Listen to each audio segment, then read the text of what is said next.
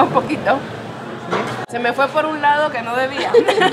Cuando uno viene a comer a México, lo mejor es pasar a los mercados. Nuestros amigos acaban de decir que lo más rico que han probado hasta hoy es eso. Pero ellos no han probado esto, así que no saben qué es la gloria todavía. ¿Le puedo decir abuela?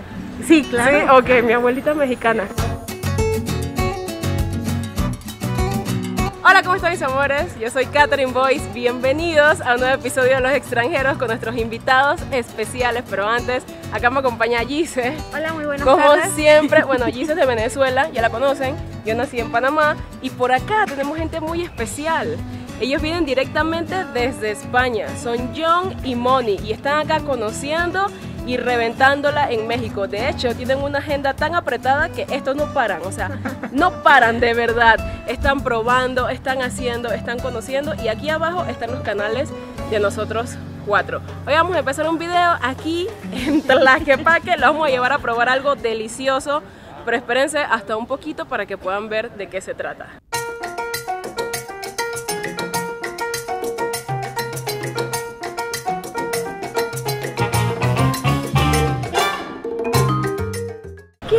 Hermosa se ve! Ay, corazón. Con su vestido rojo, en serio, la vengo viendo desde allá. ¿Ustedes de aquí? De- Sí. De, de Tlaquepaque. No, de Guadalajara. De Guadalajara. Sí. ¿Y qué está haciendo por acá? Paseando Estamos, un poco. estamos- venimos a desayunar y a pasear por aquí por las artesanías. ¿Le puedo decir abuela?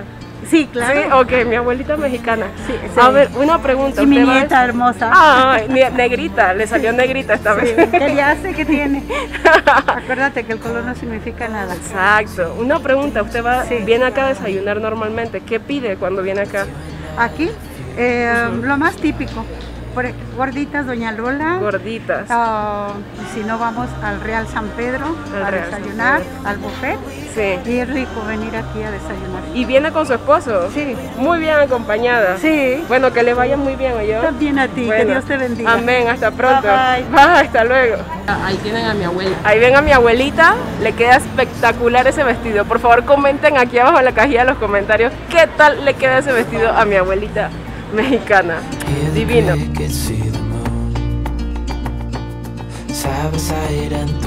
Disculpe, ¿esto es un solo restaurante o son varios? El restaurante. ¿A qué nos recomienda probar por aquí? ¿Algo, algún puesto o algo? ¿Cómo de qué? No sé, algo típico de acá que sería Pues los chilaquiles, chilaquiles. Ok. con sus salsitas, pero muy buenos. Sí, ok. Esos son así y les ponen pollo. Pollo. ¿Y cómo se llama? ¿También chilaquiles? Aunque lleven pollo. Chilaquiles con pollo. Ok, perfecto. Bueno, muchísimas gracias. No, de nada.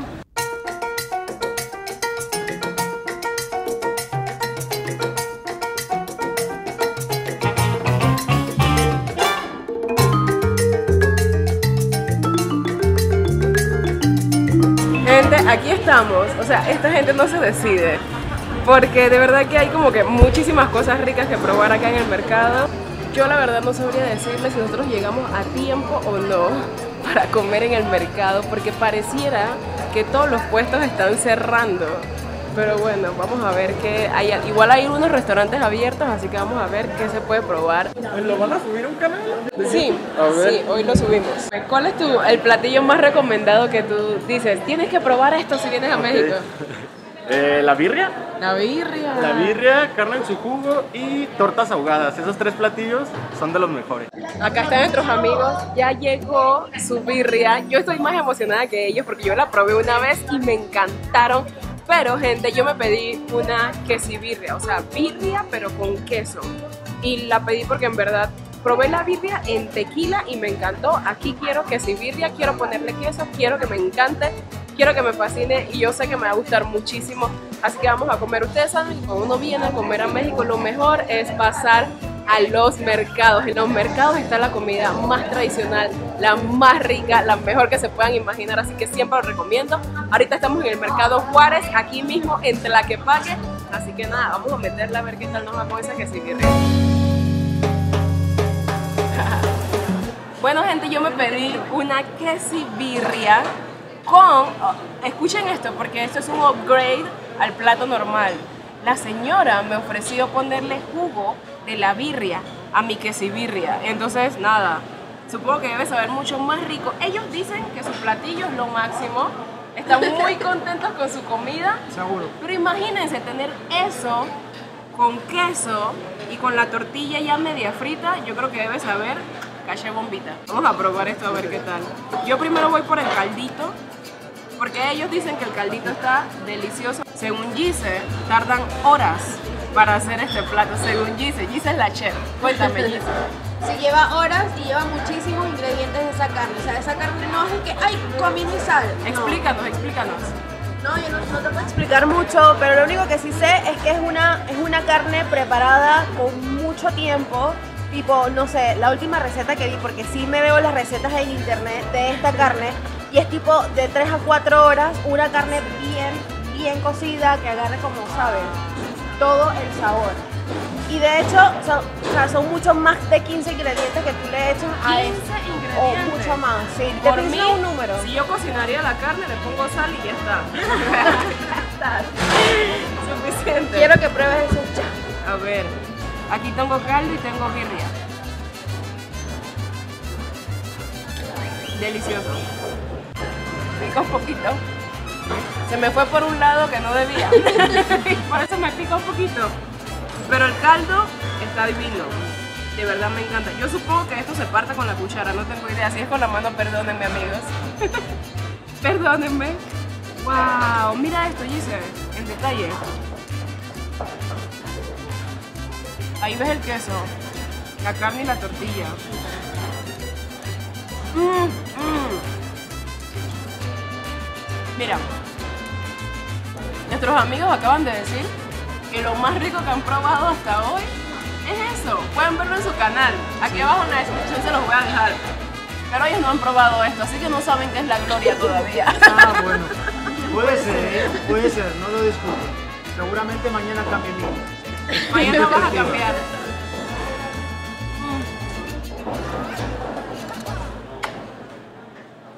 Chulada de plato.